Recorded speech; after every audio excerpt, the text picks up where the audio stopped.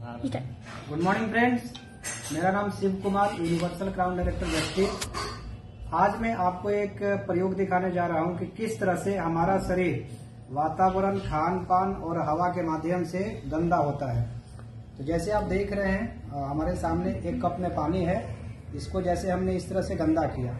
एक प्रकार के जर्म को इसमें हमने ऐड किया और ये पानी बिल्कुल गंदा हो गया है। इसी प्रकार से हमारा शरीर गंदा पानी पीने से गंदा हवा से और खराब खाने से गंदा हो जाता है टॉक्सिन से भर जाता है।